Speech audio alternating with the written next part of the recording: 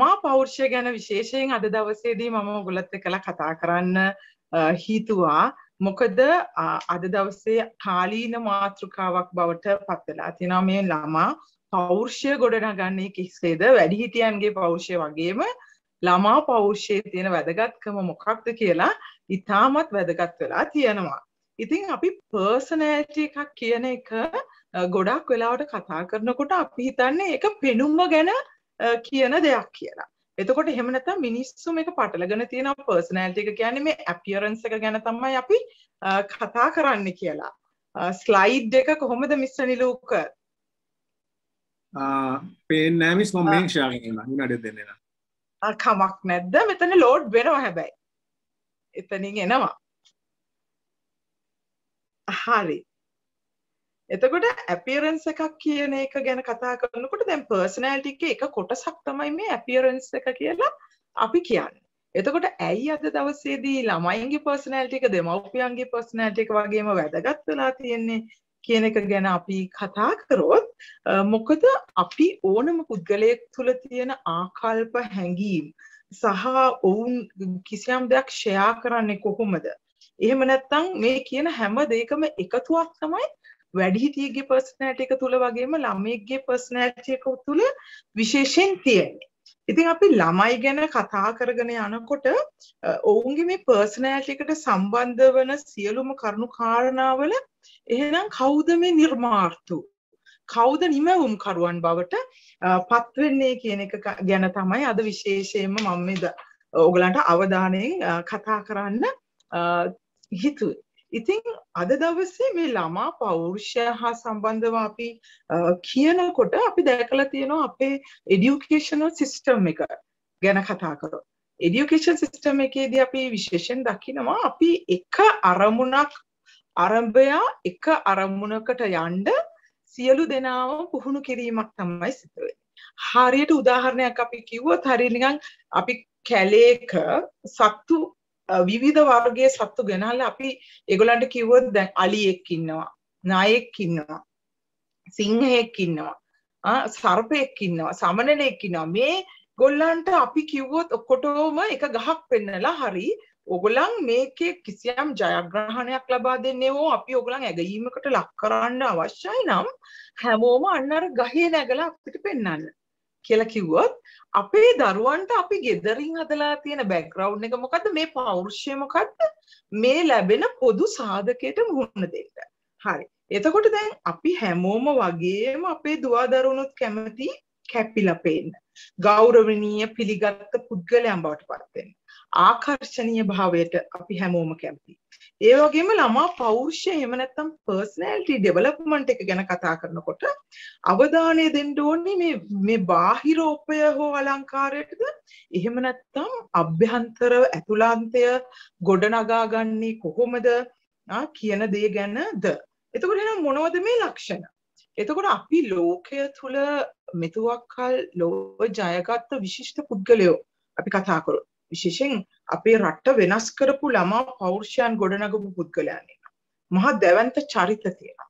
මේ අපි හැමෝම අපි මේ කතා කරන පුද්ගලයන් ප්‍රසිද්ධ වෙලා තියෙන්නේ එහෙම නැත්නම් ඔවුන් ප්‍රසිද්ධියට පත් වෙලා තියෙන්නේ මේ බාහිර උපය සහ අලංකාරයේ හින්දාද එහෙමත් නැත්නම් ඔවුන් ප්‍රසිද්ධියට පත් වෙලා වන්නේ කිසියම් සුවිශේෂී වූ දෙයක් කාර්යභාරයක් වගකීමක් ඉෂ්ට කරලා. අන්න ඒක ගැන තමයි අපි විශේෂයෙන් අවධානය දෙන්නේ. එතකොට අපි කතා කරගෙන යනකොට සුවිශේෂ චරිත විදිහට අපිට ගන්න පුළුවන් බුදුරජාණන් වහන්සේ, යේසුස් ක්‍රිස්තුස් වහන්සේ, මහත්මා ගාන්ධිතුමා, ඒ වගේම තෙරේසා මව්තුමිය, ආ ඒ වගේ නෙල්සන් මැන්ඩලා සිංගප්පූරු බිහි කරපු ලින්ක් වගේ චරිත. එතකොට අධ්‍යාපනයට කරන්න පුළුවන් උපරිම දේවල්. ආ කරපු පුද්ගලයන් ඉන්නවා. සමහර පුද්ගලයන් මේ චරිත තුලින් ආපු පුද්ගලයන් පාසල් නොගියපු පුද්ගලයන්.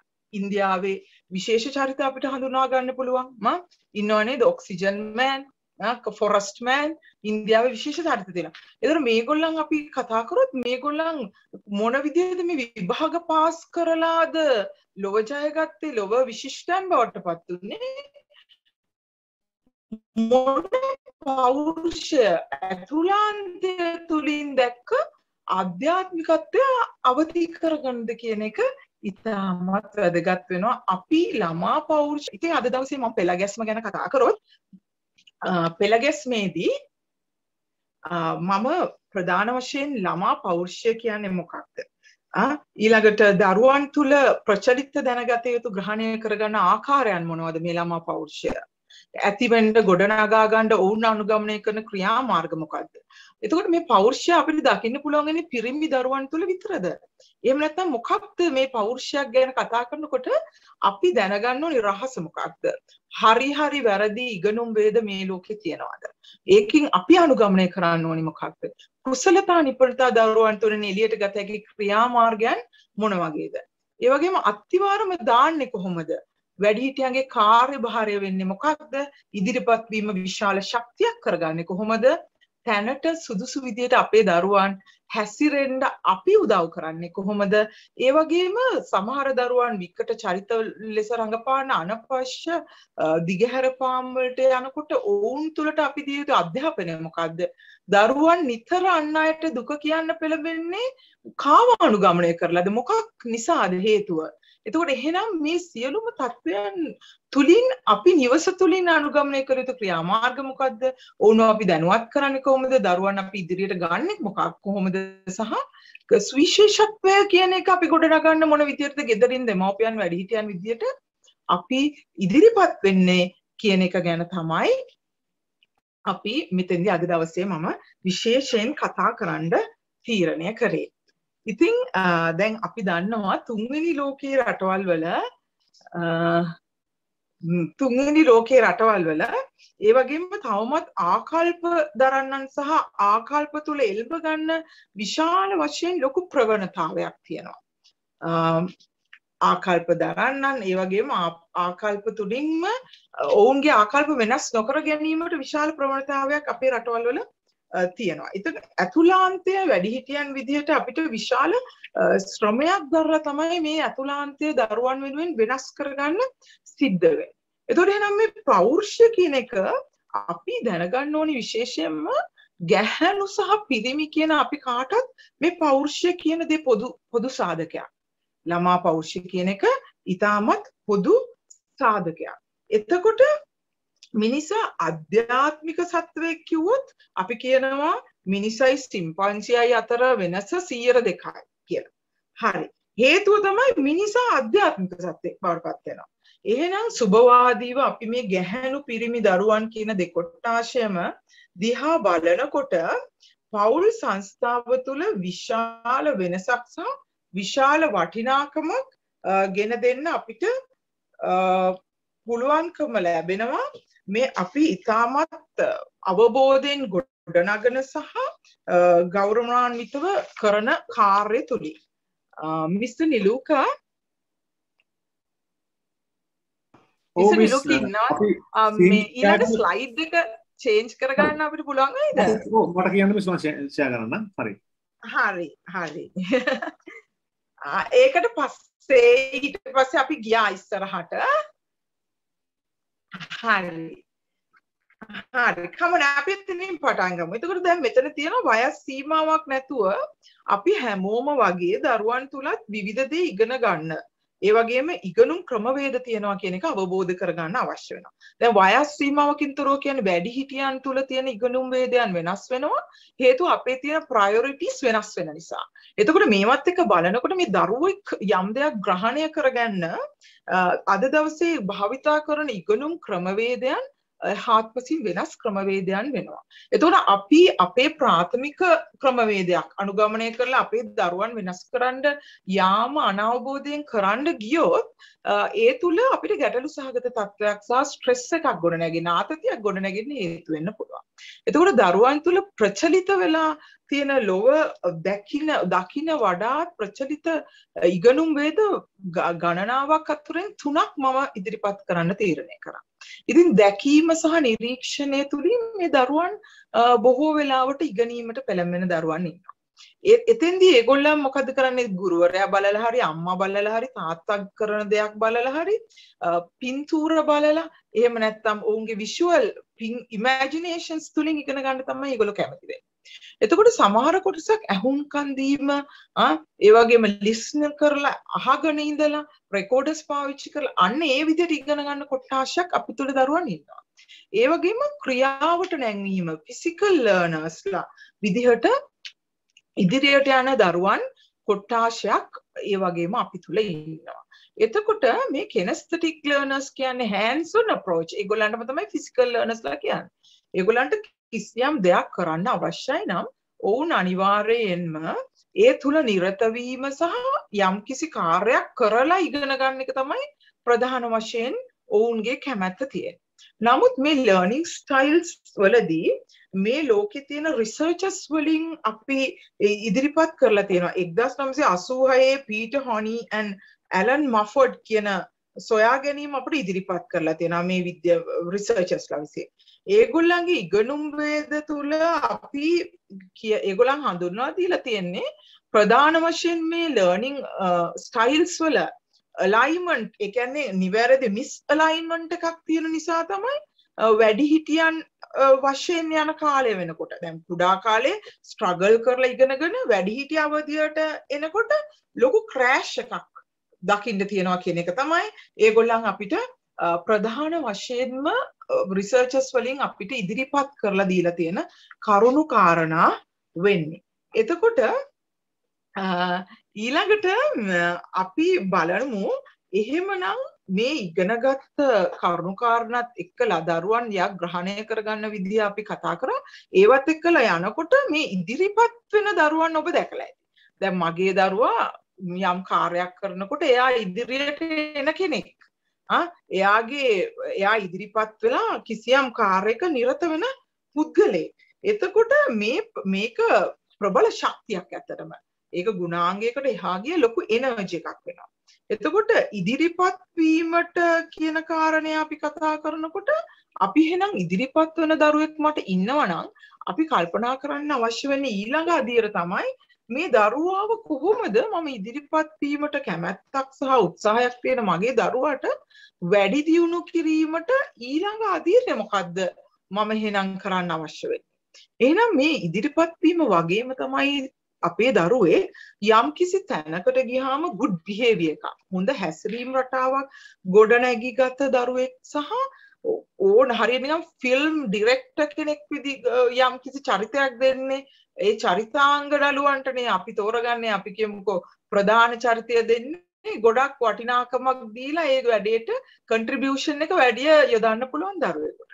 එහෙමනම් තැනට සුදුසු විදියට හැසිරීම අහ ගෙදර තුළින් අපේ පරිසරය තුළින් ඔවුන්ට අපි ඉදිරිපත් කිරීම සහ ඔවුන්ට කිසිම පිරිසක් මැද හැසිරෙනකොට ලැජ්ජාවක් අනාරශිත බවක් නොදැනෙන්ඩ ඒ වගේම තමයි හිරිහර බාධාවන්ටුවට ලක්විසි මනසක් නැතුව ඔවුන්ට බුලී වෙන්න නැතුව ඉදිරියට ගණ්ඩ වැඩි හිටියන් එක්කලා ඔවුන් ගණුදෙනු කරන ආකාරය නිතර නිරීක්ෂණයට ලක් කිරීම කියන කාරණ අපිට විශේෂයෙන්ම වැදගත් සාධක වෙනවා. ඉතින් ඇත්තටම දැකලා ඇති සමහර දරුවන් වැඩිහිටියන් කරන දේ නිතර අනුකරණය කරනවා දරුවන්. ඒ කියන්නේ ගුරුවරයා කරන දේ ඔවුන් අනුකරණය කරනවා. ඒ වගේම තමයි වැඩිහිටියන් කරන්නේ මොකක්ද? අන්න ඒක ඔවුන් අනුකරණය කරනවා. එතකොට ලෝකයේ අපි කිව්වොත් එහෙම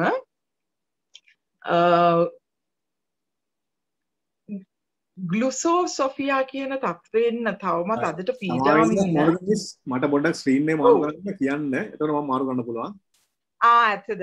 හරි මිස්ට අපි ඊළඟ ස්ත්‍රීන එකට යමුද මට ස්ත්‍රීන කියන්න ම ඊළඟට මාරු කරන්න හැමදිස්සම කියන්න හා මම හරි හොර හරි මේක අපි කතා කරා මිස්ට්‍ර නිල්ලූක මේක ගැන දමා පෞරුෂය පිරිමි දරුවන් තුළ විතරක්ද දකින්න තියෙන එක අපි කතා කරා. හරි. ඔහොම තියන්න එහෙනම්. සැඟවුණු පෞරුෂය ගැන අපි කතා කරන්නේ නේද? හරි. හරි. හොඳයි. එතකොට මේ සැඟවුණු පෞරුෂය කියන්නේ මොකද්ද? ඉතින් අපි කතා කරොත් ළමා පෞරුෂය ඔප්නම්මා ගන්න ඉස්සරහට ගන්න පුළුවන් කියලා අපි හිතන සාධක අතර වෛද්‍ය විද්‍යාවෙත් අද තියෙන මේ අහලා ඇති කරුණු කාරණා විශාල වශයෙන් සාකච්ඡා කරනවා දරුවෙක්ගේ තියෙන අනවශ්‍ය බිය සැකය තැතිගැන්ම ඒ වගේ කරුණු කාරණා තියෙන තත්ත්වයන් ඉතාමත් සැලකිල්ලෙන් ඔබේ දරුවන් නිරීක්ෂණය තුළින් තමයි අපිට හඳුනා ගන්න පුළුවන් වෙන්නේ. එතකොට ඔගොල්ලෝ දැකලා ඇති රැයට බය, එහෙම නැත්නම් ජලයට බය, පිරිසක් ඉදිරියේ යම්කිසි කතාවක් කරන්න තියෙන බය, ලැජ්ජාව, වෙවුලන ගතිය, ඒකට බැක්වර්ඩ් වෙන එක. ඒ වගේ කාරණාවන් ජය ගන්න පුළුවන් ඒ රහස මොකක්ද? එතකොට එහෙමනම් අපි කොහොමද මේ කාරණාවන් ජය අරගෙන මොනවද අපි ගොඩනගා ගන්න අවශ්‍ය වෙන කරුණු කාරණා? දරුවගේ සැඟවුණු පෞරුෂය ඉදිරියට ගන්න නම් අපි gedara පරිසරය තුලින් බිලීෆ් එක මෙන්ටල් ඇටිටියුඩ් එක ධනාත්මකව ගොඩනැගීමට අවශ්‍ය වෙනවා. එහෙමනම් ජීවිතේ ඊළඟට අපි කතා කරොත් පෞරුෂය වර්ධනය කරගන්න එක අමතක වෙනකොට ඒ කියන්නේ අපිට තියෙන වැඩත් එක්කලා තියෙන බිසි ෂෙඩියුල්ස් එක්කලා අපේ දරුවන්ට දෙන අවධානය සමහර වෙලාවට ඒගොල්ලෝ ඉගෙන ගන්නවා ඒගොල්ලන්ගේ පාඩම් වැඩවලට අපි උදව් කරනවා නමුත් පෞරුෂය කියන එක ළමයාගේ ඇතුළාන්තය හදනවා කියන එකට අපිට අවධානය දෙන්න අමතක වෙන්න පුළුවන්. එහෙමනම් එතෙන්දි මොකද අපි කරන්න අවශ්‍ය වෙන්නේ මේ සඳහා වැඩි අවධානයක් යොදලා අපිට කටයුතු කරන්න සිද්ධ වෙනවා. ඔන්න මම මෙතෙන්දී පුංචි කතාවක් මතක් කරන්න කැමතියි. එක කෝවිලක පූසාරි කෙනෙක් අපි දරුවන් දැන් මේ රහසක් කරනකොට මිත්‍යා විශ්වාස කියන කාරණය ගැන කතා කරනකොට එක කෝවිලක පූසාරි කෙනෙක් හිටියලු ඒ පූසාරි ආසාවට ගමෙන් පූසෙක් ගෙනල්ලා හදලා තියෙනවා. එතකොට මේ පූසව ගෙදර හදනකොට යාගේ කෝවිලේ හදනකොට මේ පූසව දැන් පූජාව වෙලාවට බැඳලා තියලා තමයි පූජාව තියන්නේ. මොකද පූසා නැත්තම් මේ කියන පූජාවේ තියෙන පළතුරු ඒ ඔක්කොම කලින් කනවා. ඉතින් පූජාව තියලා ඉවර වෙලා තමයි මේ පූසව මේ පූසාරි අරින්නේ ගැටේ ගහන එක අතහරින්නේ. දැන් දවසක් ওই විදිහට කාලය ගත වීගෙන යනකොට මේ පූසාරි මැරුණලු. එතකොට මැරුණට පස්සේ එයාගේ පුතා තමයි මේ පූසාරි වශයෙන් කෝවිලේ මේ කටයුතු කරගෙන ගිහින් තියෙන්නේ.